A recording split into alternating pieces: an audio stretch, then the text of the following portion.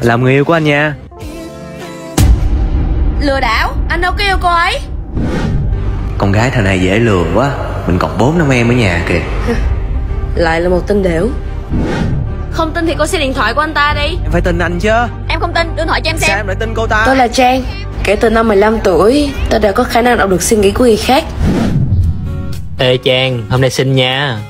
Tôi cảm Sao đeo ơn. cái kính quê mùi dữ vậy trời tôi đã quá quen với những lời nói giống như vậy. Cái kính nó không hợp với bà đâu.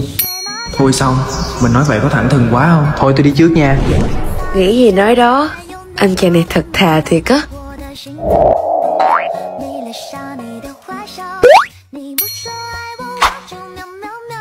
Xin lỗi nha.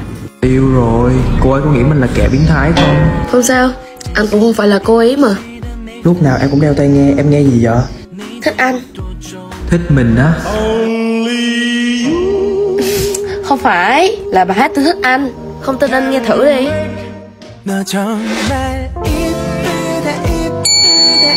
Hai. Hay quá Mới sáng ra đã được gặp cô ấy.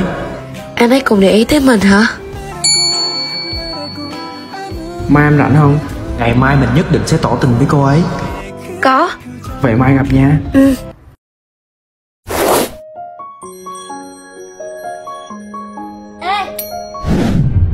Cô là người hẹn anh Vĩnh đúng không? Sao em lại tới đây? Anh Vĩnh Đây là Tôi là người yêu của anh ấy.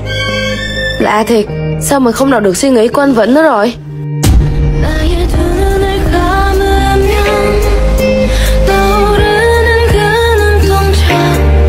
Sao em lại tới đây?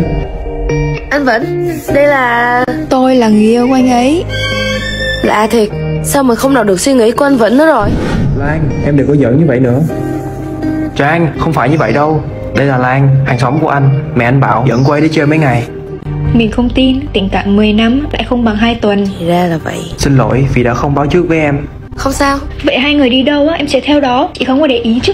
Nha đầu chết tiệt. Mới tí tuổi mà đã tính toán như vậy. Anh Vĩnh Em khát nước rồi. Mình đi uống nước đi. Được Còn lâu mới để cô cướp đi anh Vĩnh. Anh Vĩnh ngồi đây đi. Để xem á, hai người hạnh phúc được bao lâu. Vĩnh Em muốn uống. Kem sữa vị dâu ba phần đường nhiều đá đúng không? Ừ. Sao anh hiểu em ấy vậy? Cảm động quá à.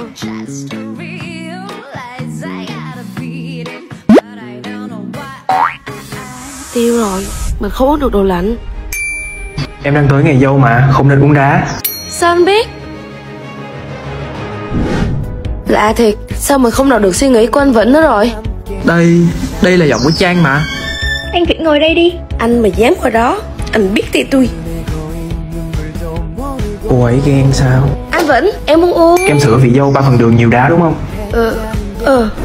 Anh cũng không biết tại sao lại đọc được suy nghĩ của em Lẽ nào là vì mình thích anh ấy Nên anh ấy mới đọc được suy nghĩ của mình? Em thích anh.